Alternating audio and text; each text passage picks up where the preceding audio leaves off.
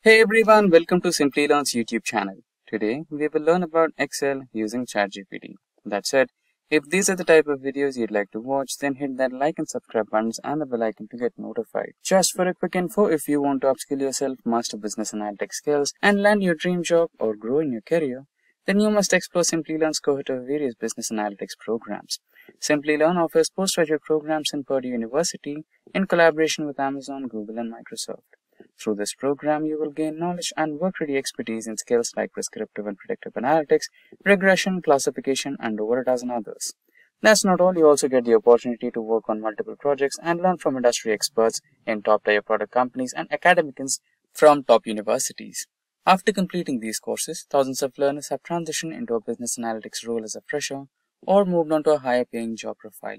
If you are passionate about making your career in this field, then make sure to check out the link in the pinned comment and description box below to find a business analytics program that fits your experience and areas of interest.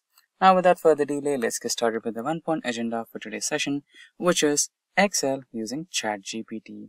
Now let's open an Excel document. Let's also try to open a new terminal in ChatGPT. Okay, we have a new chat now, right? Now let's go back to the Excel spreadsheet and here you can see we have a CSV file which is a little longer. So let's try to eliminate a few rows. Let's try to work with only 50 rows for now. Select the first cell, delete. Right. Now I want an Excel formula to separate all these comma separated values into separate columns. Now we have some automated uh, solutions for it, right? But now let's try to create a formula using ChatGPT. Now let's ask ChatGPT to give a formula to separate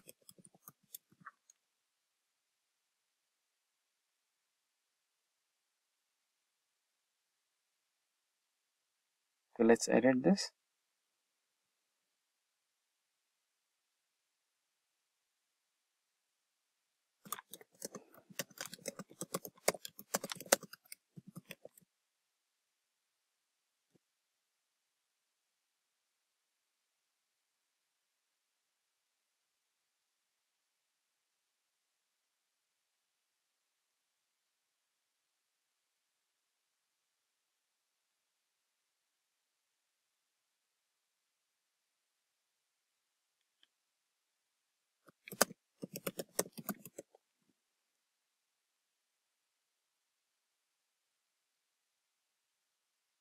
Copy the code.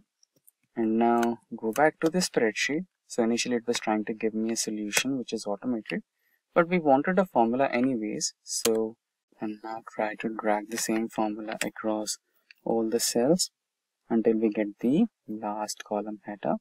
So it is quite lengthy. So I think the last column header is somewhere over here. Years with the current manager.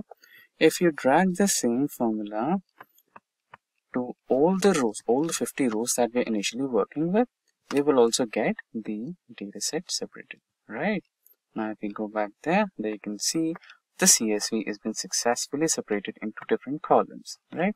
Now, if you want to work on some, uh, uh, let's say some uh, some functions or mathematical functions which you work with day-to-day -day life, right? Let's copy 10 random values, paste them in a new sheet, calculate the sum of these values, right? Sum of 10 values. Search ChatGPT for the same. All the mathematical statistical functions like average, mean, median, mode, subtract, differentiation, everything. Now let's try to ask it for the summation. Give me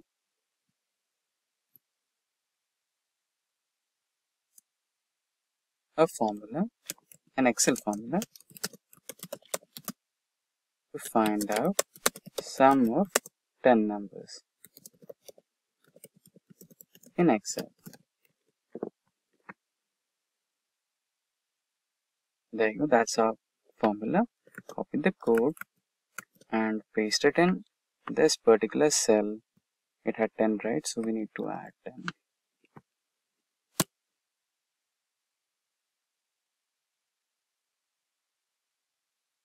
So let's add the 10th value here.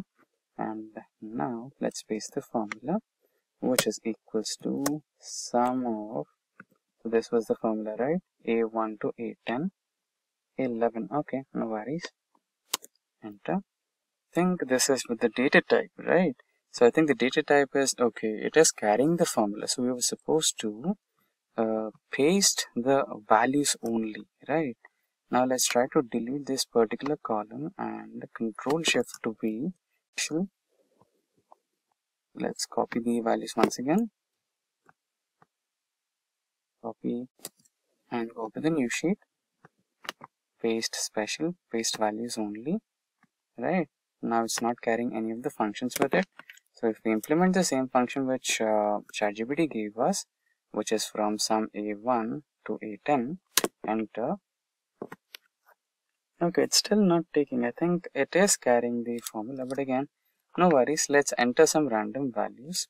10 20 30 40 50 60 70 80 90 and 100 now we have 10 values and if we use the same formula sum of a1 to a10 which ChatGPT initially gave us we have the summation similarly you can also ask ChatGPT to give you any of the mathematical and statistical functions. Now let's say we want to uh, do some macro level functions right? Let's say uh, we want an interest calculator right? So before that we need to save this file as currently this is CSV right? We need to save it as macro enabled workbook so that whenever we write a macro the macro will be accepted by the workbook right? Now let's say uh, okay. To insert a macro we need to go to macros from developer options. Let's name our uh, macro as okay let's ask uh, okay. I right let's create this. Right now let's ask ChatGPT for the code. Give me a macro for calculating interest in Excel. It should be giving me the code. There you go. Simply calculate the, uh, simply copy the code. Go to your macro, erase whatever you have here. Erase this because the some you know the function name we're giving a new function name here calculate interest right instead of interest just save it it'll ask for a small change I think it's done now you can close this macro and in the same developer options go to interest create a button create it somewhere over here and uh, click on the function that you just created the macro just you created. Press ok and if you want to change it you know you can also change it. Uh, instead of button 1 just uh, type in interest. There you go done. Now whenever you click on this button it will ask the amount right let's give some principal amount let's say ten thousand dollars. Annual interest rate maybe six percent as decimal. And term period let's me let let's think it's uh, one year. Should be good right? So that's how you create macros using excel. I think i gave one like instead of 60000 right? Uh, there you go. And let's say you want to take it to a next level. Let's say advanced level you wanted to you know split the first name and second name. Or let's say we, you wanted to do a VLOOKUP function to calculate the performance right? Now let's say we don't have this okay? Uh, we, we don't have a what say display username we don't have a username in our current sheet. Let's imagine we don't have a username right? Now I want a VLOOKUP function from Excel. Or you know just a syntax also would do. Give me a VLOOKUP function.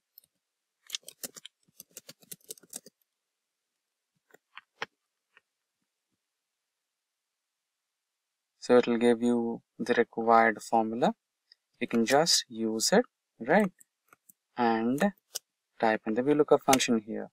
And it's really simple. Equals to the lookup value you're looking for which is let's say here you're trying to add the lookup formula lookup value and uh, the table array which is this one right here. You have given the table array comma the column index you are looking for. You wanted the username right? So you need to give these two columns. And the value you wanted is okay. So uh,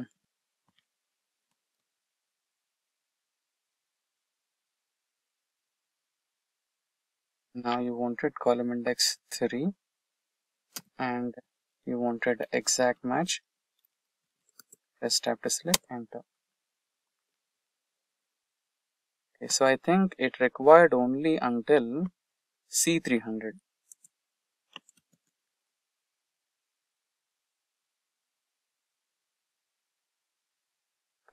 value. Okay i did not give the lookup value. That's my bad uh, the lookup range you are giving is the first two three. You wanted third column. Enter. And now let's give me a value. Add it here. And there you go. You have the answer. Right? You have the user id and username. And that's how you use uh, lookup function in excel. Now let's say i wanted to uh, okay let's remove these two here and let's also remove these two here. And let's imagine the display name itself is your username here. Now I want to split them into first name and second name. So go back to ChatGPT and ask for a formula. Give me a formula to split the name into first name and second name.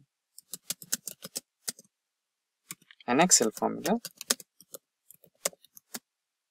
Split name into first name and last name. It will give you the formula shortly. Copy code. Go back to excel paste it right there. Okay i think we copied two codes. We just needed one. So ChatGPT will give you multiple uh, codes here. So you can just copy the first one and erase these.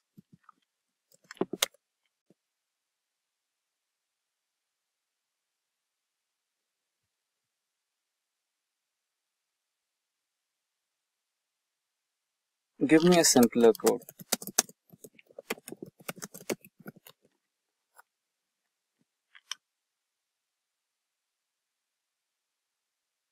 Okay. So I think that was for two different columns right so now let's add it here. Let's remove this and add it here. Now if you drag the same formula you should be getting the first names. And if you take the second formula here and paste it in the last name position you should be getting all the last names. Right if there is no second name you will be getting a value error. And in case if you have a value you will be getting the second name you can also wrap this inside if error right? Say not available.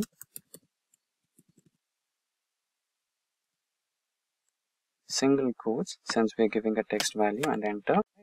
So that's how you use chat gpt for excel.